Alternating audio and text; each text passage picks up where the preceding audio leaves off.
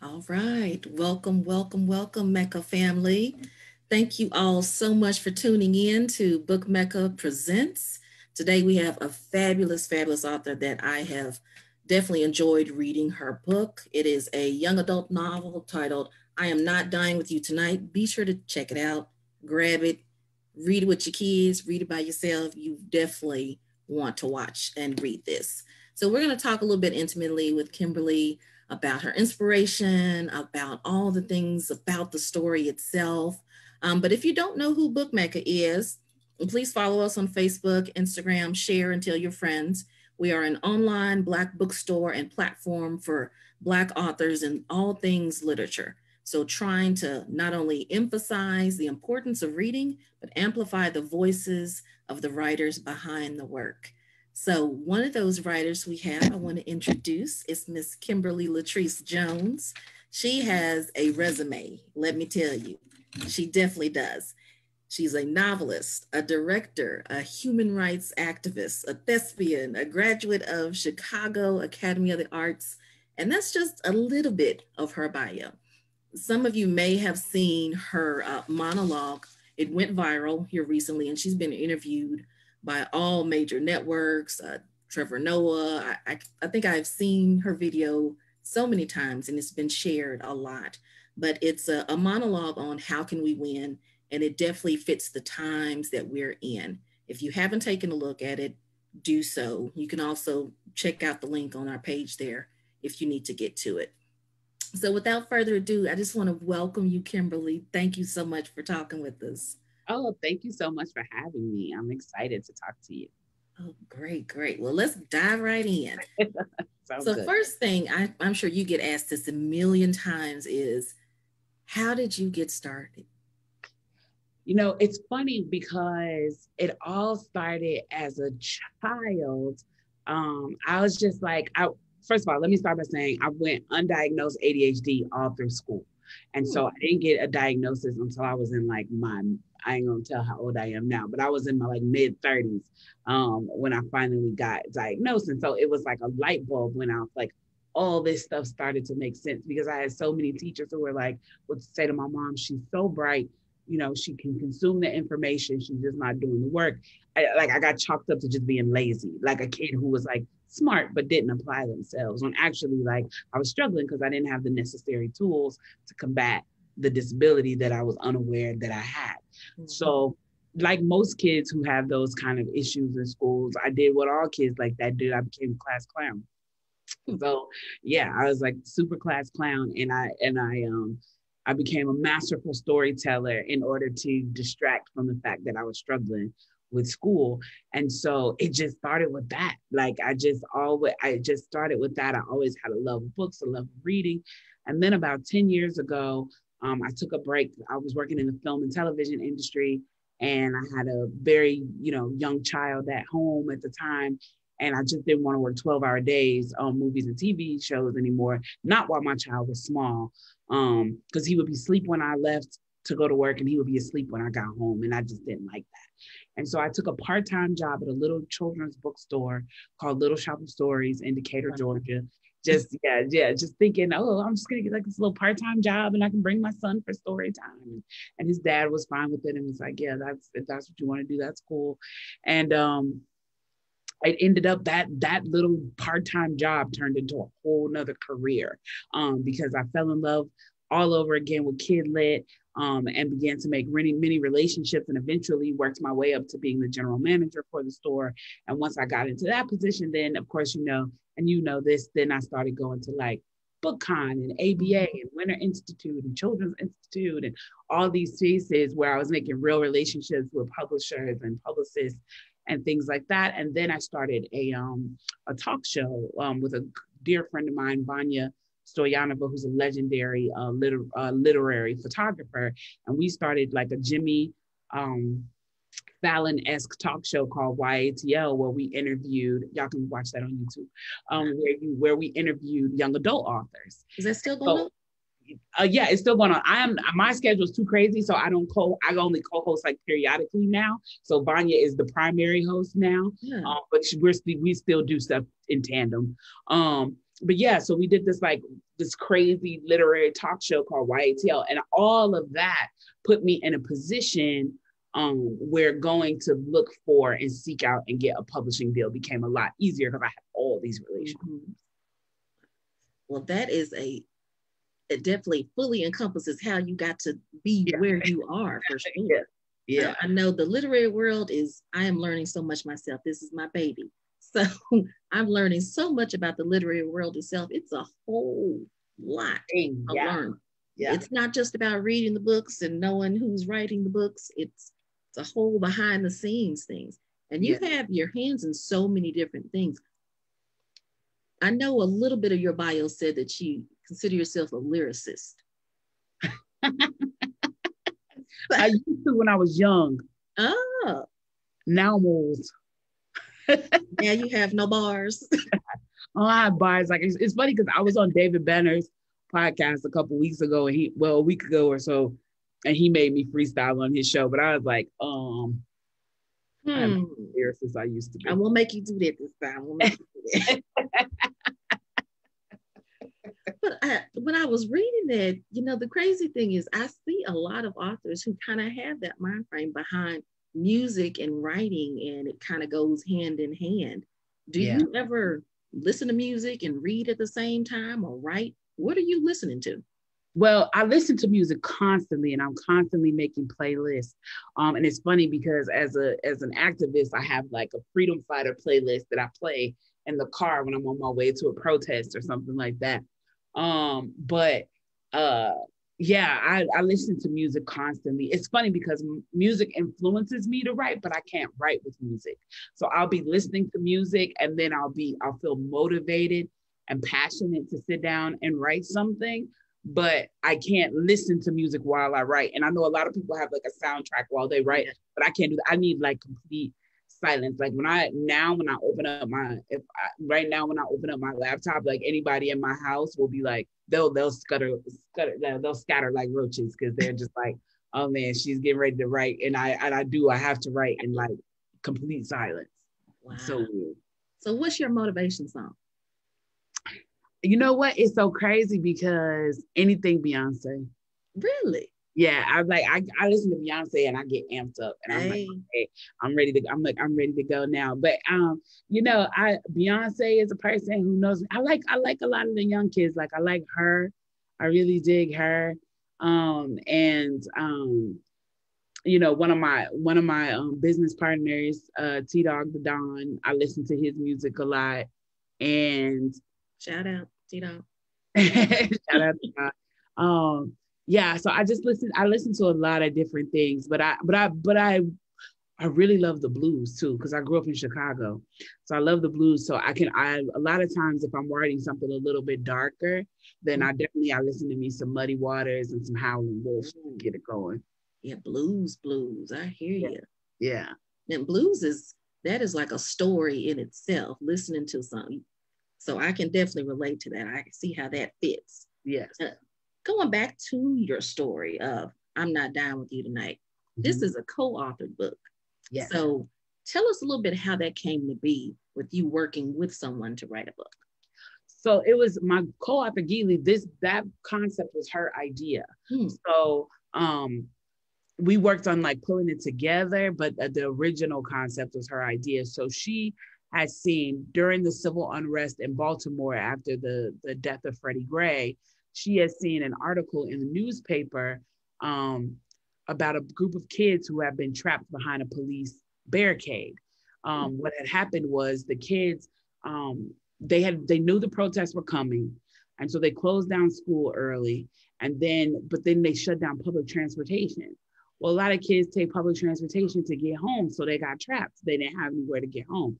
So there was a group of kids who got trapped behind a police barricade who weren't participating um, in the civil unrest. They were just stuck out there. And the news kind of like moved away from that story. They never circle back to it because they don't, because you know they want to focus on things that they can sensationalize.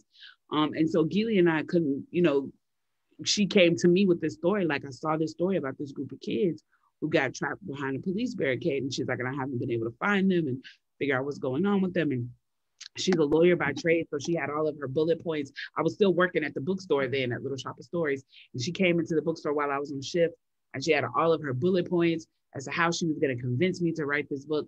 And I think that she felt just like as a white woman, she did not have the informed lived experience to tell this story but she really felt compelled to tell this story and so she was just like if i could just get kim to co-write it with me um, i think i'll be in a better space yeah. and so she had all this stuff about how she was going to convince me to write it and she got through like two of her bullet points and i was just like yeah you had me at least right together let's go yeah so so we always jokingly say that was our jerry maguire moment okay um, but uh, it's funny because we told that story at a uh, college and, and it was like crickets. And then we realized that even college age students, Jerry Maguire came out before they were born. And we were like, man, that just made me feel really old right there. Yeah. Yeah. I was like, well, I'm officially old. Um, yeah. Yeah. Because we thought we were like, and I was like, and you had me at hello. And they were like, hmm. what? Oh, yeah. and we're like, Jerry Maguire. And they're like, is that, what is that a TV show? And We're like, oh, we're old. Um, it's, it's official. It's official. it's official. Well, that story is definitely ripped from the headlines. Then the way yeah. that you wrote it, and I love how it's taken from two different perspectives. One from a young teenager, a young black teenager, a young white teenager, and they're not friends, no. but they are stuck in this scenario of trying to get home safely, and all this craziness happens around them. Yeah. So uh, I came across, which I, I love makeup and all these kinds of things. I came across this cute little quote thing, Julep. They send these little boxes. love Julep, yes. Yes. Well, their CEO sends cute little notes in there. Uh-huh. And one of them was, uh, she said, pretty is precious, it's dainty and polite, pretty follows the rules, never speaks out of turn, and it always asks for permission first. And it kind of goes on and on like that. And then I got to thinking that your two main characters in my head were pretty girls. They were gorgeous young ladies. Yeah. And they could have went about their own lives and just went with the flow, tried to just wait things out. Mm-hmm. But they kind of had this self-realized power that they had to figure things out.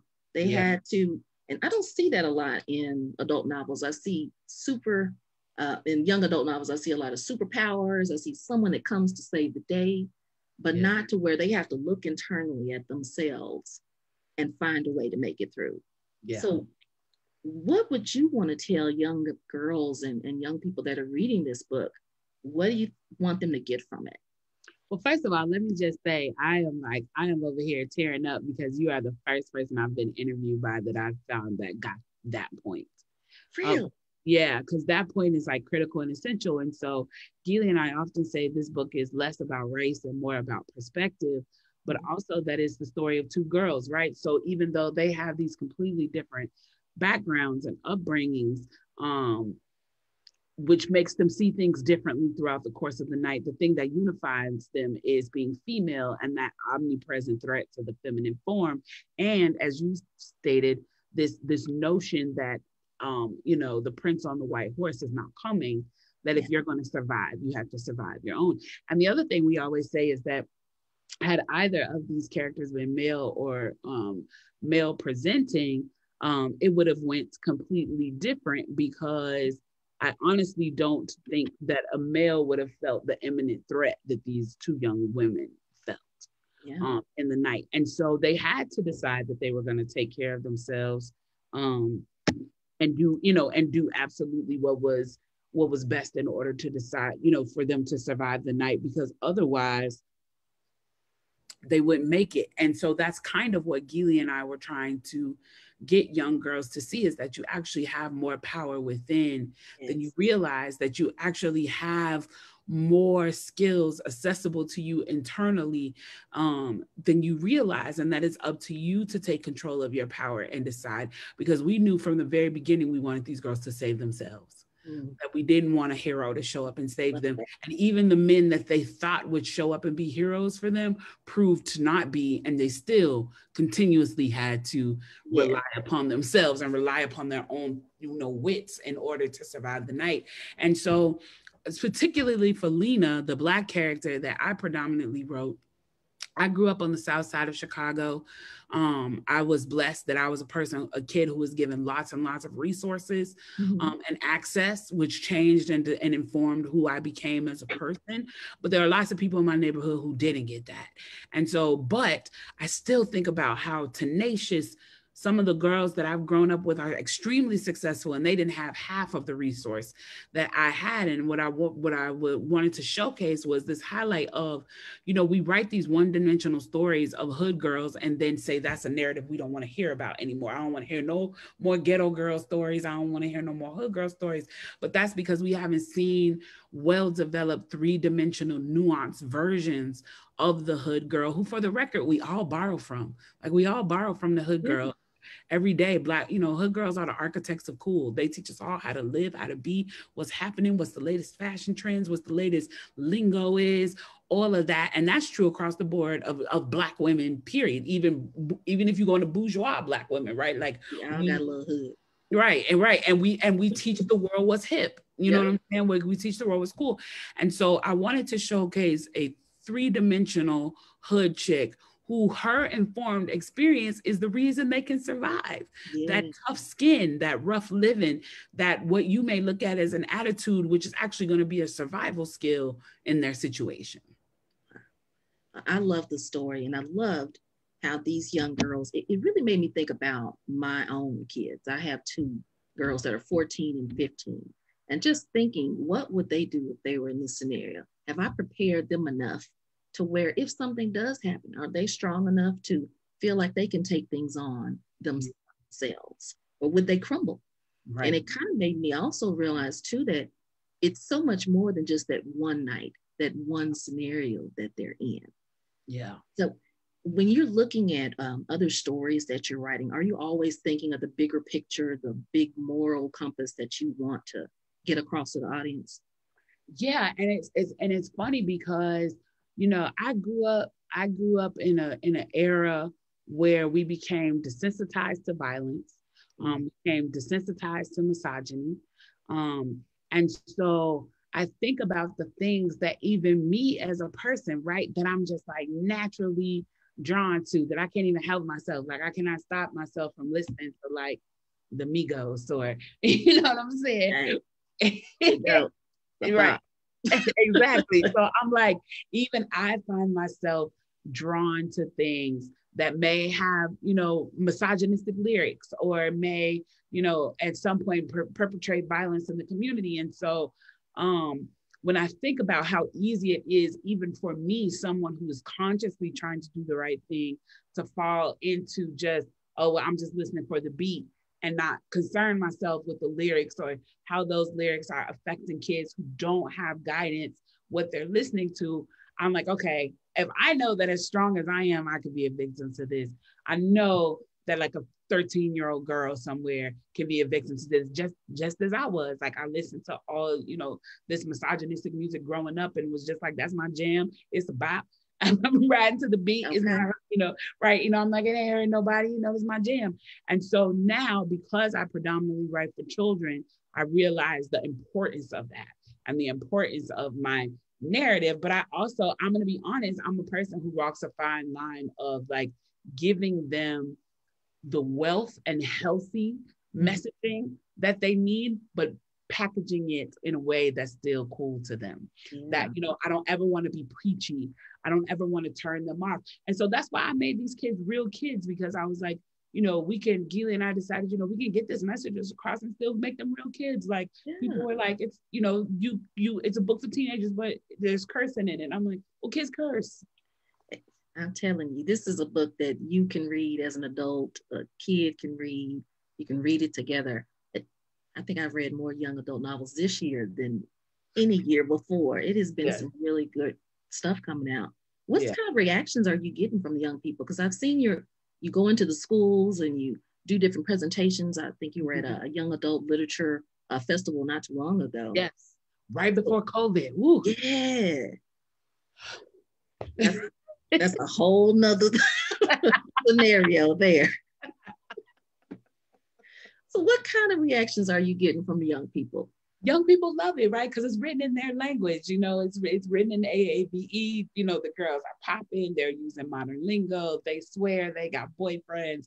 They they they're living the life that teenagers are living. So it feels realistic to them, but there's definitely quite a few messages embedded throughout it. But it, you know, and so because of that, young people are drawn to it. They like it. I, I know I was in um, a school in Baltimore, and one of the teachers was telling me, she's like, you know, I can't get my kids to read anything, but they read this. But Gilly and I also, you know, the average young adult novel is around 60,000 words. Mm-hmm. Our book is 40,000 words. It's paced very quickly. It's paced like a movie. So yeah. it's very good for the reluctant reader. And so the kid who, you know, needs something that's a little bit more fast paced with with less pages to get through and that kind of thing. So it's designed perfectly that for definitely for the reluctant reader, but also for the kid who loves to read, who just wants something like quick to get through and you know, kind of actiony or whatever. Mm-hmm. And so I've been getting great responses from the kids. It's funny because when the book initially came out, adults didn't like it. We got we got a really, really? yeah. Our first review, our first trade review was like really like really just like it was there was no question that they disliked this book Ooh. and so then we um we started we started touring and we started going to schools and we realized that you know we may not have an adult audience and that's okay because that's not who we wrote it for but the kids loved it. Like we would go to high schools and they would be finishing and uh, the, you know, the amount of times i had a teacher say to me this group of kids i can't get them to finish a book but they finished your book. Wow. Wow. That is something there. That speaks yeah. volumes all by itself I know some, I noticed you mentioned how it was easy to read. It is a very visual book. So when you're reading the story, you feel and you can see everything that's happened along with it. And I know for my youngest daughter who's reading it now, um, she has dyslexia. So she's always a little hesitant about reading, but she's been reading this really well. I love the way that it's written very plainly, very clear. So yeah. it paints a picture really well. So yeah, hats off to you for Thank that, for sure. and your co-author. Hats off. Thank you. we appreciate that for sure, for sure. Now, for your inspirations for writing, because I know I want to be mindful of our time here, so I don't want to be too much of your time. But everybody has an inspiration for writing. Favorite authors. Who were some of yours? You know, I'm a bit. I was a huge fan of of Bebe Moore Campbell. Um, a big a big fan of Claude Brown, Toni Morrison, Zora Neale Hurston, um, of course Baldwin. You can't be a black writer and not love Baldwin. Um, love Baldwin. no, that you gotta love Baldwin. Love um, Baldwin. Yeah, modern day. I'm a huge fan of Jason Reynolds, Nic Stone, mm-hmm. Angie Thomas uh, Tiffany Jackson, my co-author Gilly Segal. She has a solo book coming out that I'm like, I can't wait to big up my sister's book and praise it and get people to be get excited about it. Um, my Mayra Cuevas, who's a Latinx writer, um, mm-hmm. sister. Um, um, she has an amazing book called Salty Bittersweet. Um, I'm a huge, I'm a huge fan of Mayra.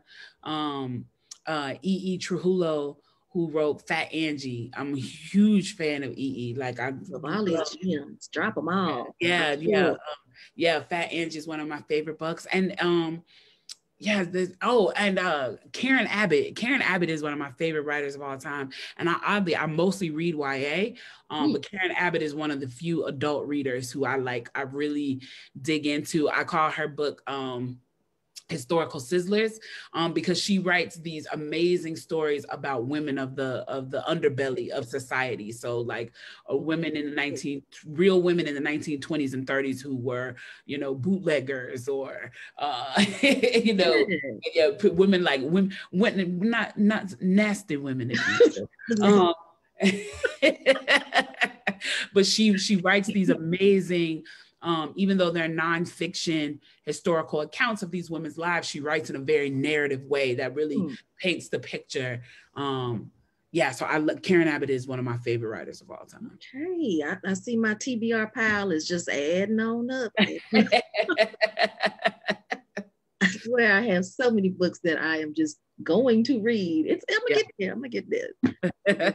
so what are you reading right now? Um, right now, look, I got it. I got it right there Right, I got it. I got my computer propped up on it, but I want to pull it out because I want people to. uh So y'all bear with me for a second while I pull it out from up underneath, because uh, I really want people to support this book because it's absolutely uh, amazing. Right now, I'm reading um This is America. Oh, yeah. Have you seen this one? I've heard good things about it. I haven't read it yet. Yeah, so this is America um, by Kim Johnson. Um, if y'all uh, follow her on Instagram, is I think it's Casey Johnson writes. Um, but yes, this is uh, yeah, Casey Johnson writes is her is her, is her Instagram, Twitter, and Facebook. But yeah, uh, this is all about a, a girl who has a revelation about her father who's in prison. Mm. And it is freaking brilliant. I'm about ha- I'm about I'm about, about three quarters away through it, and I'm just like, this is her debut, and I just feel like this sister has a huge career ahead of her. Wow. Well, yeah. we will definitely be checking that out. Yeah. And all of you who are watching, write down all these little tips, all these little TBRs to add to your pile. I'm pretty sure the more the merrier. Yes. well, thank you. Thank you so much. Now, uh, when talking about reading a little bit, um, everybody has these little nooks and corners and things. And uh, there's a big push they had recently of women who love to decorate outdoors and indoors and interior decorating, especially during COVID. And then I saw one on reading nooks. Mm-hmm. What does your reading nook look like? The, so the this is my I'm, I'm going to show you guys my reading nook. It, it is just that big cushy chair. Cozy. And and it's not over there right now, but I have a big table knit um throw. So I like curl up in that chair with my throw, and I'm in heaven. Love it, love it. For heaven. I think I've liked so many things on Pinterest on my future read nook, what I wanted to look uh-huh. like in my head. Yeah, I don't the budget for that. So until then, my little corner. I like the I like your corner. It's got a lot of Thank you. Thank you. little baby art, little all the stuff, keep it I all know. together. The one with the purple book, that is like that piece is so dope. That's my book mecca. I book. love it. My youngest did it. Lolo is art designs, and now she'll be happy I shouted her out. Yes. Love. That's all her painting right. for sure. Uh, there is one thing that someone wanted me to ask you. They've seen your viral video. They mm-hmm. know you're an activist. Which came first, the activism or the writing? Or was I, it kind of all together? I think it was kind of all together, right? Because I've been on, I've been, you know, an activist in some way, shape, form, or fashion since I was about eight years old. Um, and I'm 40 and I'm 44 now. So um it all it all started um when I was eight years old, and I went vi-, vi- the version of viral we had at that time, which was the national news, and I cussed out President Reagan. So that was I was about eight years old when that happened. At And at eight, yes, I gave him a piece of my mind. And so I've been cussing out America a long time. Um, but um, people were calling my mother from Mississippi from all over, being like, "Did you see your baby on the news telling the president about himself?" And so my mother was smart enough to nurture that. And so she put me in an after school program at Operation Push Rainbow Coalition. I also went to after school programs um, as I got older at the DuSable Museum, which is the African American Museum. I grew up in Chicago, in Chicago. And then I went on um, for high school. I went to after school programs at the ETA, which is the Ebony Theater Association, where I took classes in, you know, dance, music, art, and theater. But I also learned the history of Black dance, music, art, and theater. Yeah. And so um, when I was like 12 and 13 years old, I infamously would take my um, my my my uh, allowance every week and and get on the train and go down to get on the L train and go downtown and round up about six or seven homeless people and take my allowance and go feed them. And I did that uh, from the time I was like maybe like 11 until I was about 14 or 15 years old. And my parents just accepted that this is who I was and that's what I was gonna do. And you know, most parents would be like, you, you know, your, your baby down there with the homeless, and they, they were just like, my baby's, she's, she, we can, you know, this is she's gonna do it regardless. This is what she does, um, and so, you know, so parts of me has always been concerned about the well-being of my community, but mm-hmm. I've, I've been journaling since I was like seven. I remember my grandmother buying me a little. Um, there's a short story on my Amazon page that I wrote that's a, a, a, magical version of me reflecting on my grandmother taking me to this little um, country store and uh, my grandmother had a farm in rural illinois and then buying me journals because as young as seven or eight i started journaling so I, I feel like it all happened and i've been on this path as both an actor and a writer for for always you just came out of the room just talking and doing stuff. I know your parents were like, what are we gonna do with her? Yeah, they were like, this one is a handful. This one is a sure enough handful. Oh wow. I, I can only imagine you I bet you were so fiery, just yeah, I was goodness. with your writing that you're doing, and I know that you've been a director and you've been involved in television. Is any of your writing will it be on the screen anytime soon, or do you have aspirations to go into movies? Yeah, so um, the there is going to be a film version of I'm Not Dying with You Tonight. Those film rights have been bought, purchased. Um, yes, so that's going to be a movie. I'm super excited about it. Um, I wish I could give y'all more details, but they're not letting me release any details. Um, but Autumn Bailey, who book y'all. Yeah, book. book. You read the book ahead of time. Yeah, so that film is getting made into a um that um that book is getting made into a film and I have a couple other projects that I'm pitching around right now trying to get made. But I, you know, I, I worked in film for a long time what we call below the line jobs. So on like a budget sheet mm-hmm. on, a, on, a, film budget, there's above the line, which is going to be your writers, directors, producers, and lead actors and studio executives. Those people are all considered bu- above the line, and then everybody else who works on a movie is considered below the line. Um, so I worked below the line for a very long time. I was Tyler Perry's production secretary. Um, I was I worked as a development assistant on Being Bobby Brown, the Bobby and Whitney reality show, mm-hmm. um, and I I freelanced as a wardrobe assistant, and I lived in LA for four years. I freelanced as a wardrobe assistant, and I got to work on like Charmed and Dharma and Greg and all that stuff back in the day as a day player. So you don't get credited when you're a day player, but I did get credited on all the Tyler Perry stuff and on being Bobby Brown. And, and I've also produced a couple independent films that are um, either on YouTube or um, Amazon. So I'm looking to do more things in that realm because that's what I went to school for. Like I actually studied, um, went to film when I went to college. Um, I studied film with a concentration in producing, and so I'm looking to do more writing and producing and TV and film. So fingers crossed. But the yeah. one thing that's coming for sure is that I'm not dying with you tonight movie. So well, I cannot wait to see it for sure, and I know all the audience they can't wait to see it too. Yeah. You've been using your voice for so long. How important do you think right now it is to use our voices, to amplify the voices, and to not be silent? I think it's more important than ever because I think for the first time ever, people are actually listening. Um, so, you know, we might as well take advantage of this moment and continue to lift our voices. And we don't, uh, you know, I want people to understand that like we all don't have to lift our voices in the same way. I mean, I choose to be out on the front lines and get tear gassed and shot with rubber bullets and and pepper sprayed and all that jazz but that's not everybody's journey you know what i mean and even for me i've come out of the streets some and kind of started working behind the scenes on things that need to get done um, on a more organizational level but like this is the way to amplify the, you know um, you know the voice of the black constituent is having a having a you know having a a, a show like this um having a you know having a podcast like this and amplifying the voices of yeah. black writers who are doing the work. Um this this is your work. You know what i mean? So it's like that's what i want people to recognize that like all of our work doesn't look the same. Like if if police brutality we can all you know, have commentary on how difficult it is, but it's not all of our journey. Some of us need to focus a focus on education. Some of us need to focus on healthcare.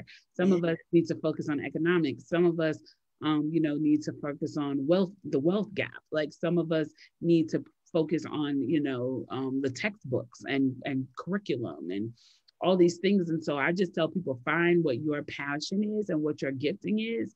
Um, maybe you like working maybe you want to look out for you know retired black veterans you know mm-hmm. and make sure they're getting their just due um, whatever that is and whatever that looks like you may just have one person you may have a mentee who comes from a space where they wouldn't get the attention you were giving them and you're going to nurture that child that's doing your part mm-hmm. you know it mm-hmm. doesn't require you to make you know national news to do your part if you mentor a kid who otherwise wouldn't have gotten the tools that you gave them you've done your part I love that. I love how you, you're thinking it's more of a collective. It is. I know collective. People may see you speak or they may have heard of all the things that you've done and they may feel like, I can't do that. That's not for me. But right. everyone can have a voice. They can have a purpose, a reason, or a way to get involved. So I love that thought of find your niche, find what your lane is. Yeah. that makes sense. I like that. Yeah, and it doesn't have to be over. I mean, you could wake up tomorrow and decide I've been hoarding clothes for three months and then go to Goodwill. You don't know whose life you're making a hard hitting decision for. I remember when I was a struggling young mom, um, and there were times where the Goodwill was the only place I could afford to buy us clothes. I'm grateful for whoever dropped that stuff off. Mm-hmm. So, how much has your life changed since that video came out? Whew, a lot. yeah, it's changed a lot. Um, well, just because I think the book is getting more attention. Mm-hmm. Um, you know, the book had a certain level of success prior to that. We had been nominated for an NAACP Image Award prior to that, but we didn't make the New York Times until after that. Um, Amazing. Number one, y'all. Number one. yeah. So we didn't, you know, so it, it, changed a lot of things like that. For me personally, I've been speaking, um, but it definitely changed the amount of offers that I get, the spaces in which I get those offers, and like just introduce me to some people in the world who may not otherwise have known um, that I existed or my work existed. So it's it's it's been a good it's been a good thing. Mm. So you're going to use this platform to go further and kind of move into the film and industry and kind of make it bigger and better, right? Yes, definitely.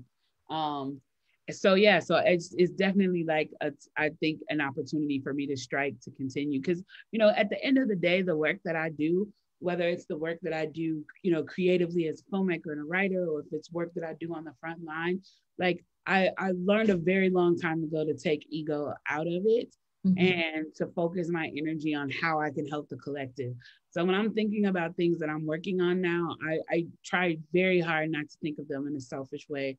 I try very hard to think of them about how can this push the needle. It may be pushing the needle for the entire community. It may be pushing the needle for the diaspora it may be pushing the needle for my for niece or nephew that I'm able to give a job. You know what I mean? But at the end of the day, I try to think about things in terms of how I can have an effect on the collective, even like one of the projects that I'm working on, again, with my partner that I mentioned earlier, um, T Dog the Don, is we're working on putting together an independent streaming network.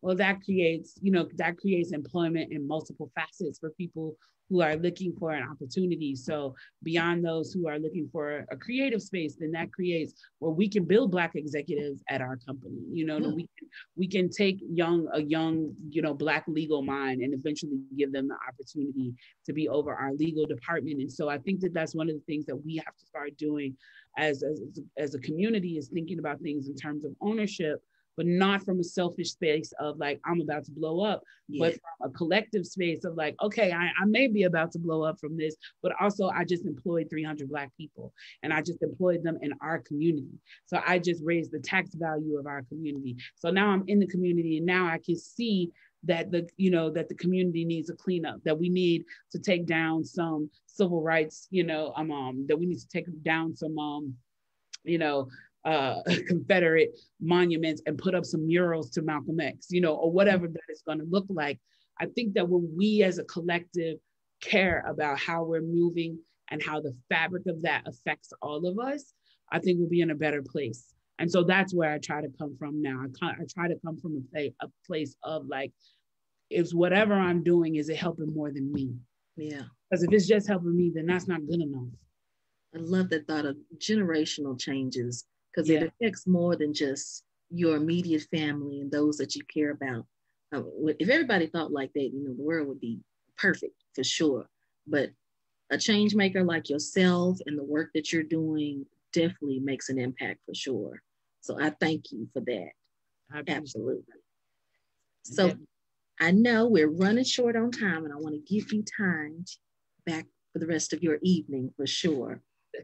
Is there anything you want to leave with our audience? Is there anything you're dying to tell them about the future of where you're going to be, uh, what to look for? I know we had a movie coming out, so y'all look for that movie. Get the book, and I'm gonna plug it again. Get the book for sure. But anything else you want to leave with our viewers? Yeah, the the one thing that uh, it's twofold. The one thing that I would just want to leave with them is to make sure that you are living a fully balanced life. Like the most revolutionary thing that you could do right now is self care, self education, and self motivation. Um, because if you have that, there's no way you can't penetrate the world in a positive way um, if you've done the work that you need to do personally first. And I'll let that lead into the next thing that I have coming up here in Atlanta uh, this coming Sunday. Um, September 20th is the first one, but I'm going to be doing it every third Sunday of the month. Um, it's with my dear friend, uh, another activist, um, Queen Yanajaha. Um, it's Queen Yanajaha and Friends Presents. I'm one of the friends. Um, it's also my good sister Char Bates, who used to host the show called Cop Watch on BET. And then the good brother, um, Christopher Brown, not the singer, but the activist. Okay. Uh, Christopher Brown. Um, and we are doing um, we're doing an event every third Sunday of the month called Revolutionary Healing, um, and it is basically like a day retreat for Black people, so we can address ah. our ancestral trauma. And so we um, we have hmm. workshops like so. There's going to be like the first one is this Sunday. We're going to have meditation and yoga. And we have some Native American brothers coming down to do a water walk with us um, on the river, ah. that right by the river. Um, and then we're having special guests. Um, every month we have one to two griots. Griots are elders um, who are significant in the community who will come and give a lecture and basically to share their story as a form of education. Um, and so lots of like, you know, and it's family friendly that you can bring the entire family to the event. But I think that's one of the things that we have to start doing as a community is healing from yes. all of the trauma and all of the PTSD and the pain that we suffer every day. And so that's one of the things that we're doing is revolutionary healing every third Sunday in the month, starting here in Atlanta, and eventually we want to branch out to other cities. But that was my next question. When yes. is it coming some somewhere closer to the Texas? yes, yes, we definitely plan on uh, our goal for next year if the world has opened back up yeah. um, is to, to tour it, to pick about 12 cities and then tour um, revolutionary healing because it's important. Um, and our mental health and our spiritual health is something um, that we've separated from that we definitely need. Yeah, self care is radical. I love it.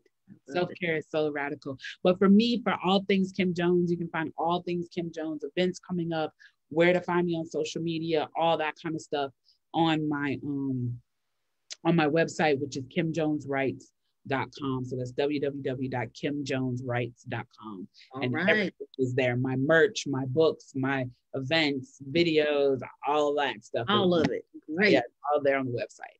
So now you all have it. You have the book. Copy. Follow her. Keep in touch with her. Yes. I promise you, she is going to be doing some amazing things. I, even outside of what she's already doing, she's going to be doing some amazing things this year. and if the world opens back up anytime soon, watch out. Yeah. It's coming. coming. It's coming. Yes, it's coming. Oh, thank you, thank you again so much for joining us. Uh, if you have anything in the future, feel free to come back on our show. We would love to have you talk about your next things coming up. Invite your friends, tell them to. And, and all you guys who are watching, if you're not following Book Mecca, Book Mecca of Texas on Facebook, book.mecca on Instagram. You can always watch these interviews later. You can share them. You can tag and follow us. Let more people know because we want to see the voices behind the stories. The stories have life behind them, and we want to know more. So thank you again so much, and you have a wonderful, wonderful day, Kim. Thank you. And I'm so proud of you and the work that you're doing, sis. Keep it up. Thank you. Thank you. We got to connect these kids. Yes, sure. for sure, for sure. That is definite. You have right. one. You take care. Bye bye.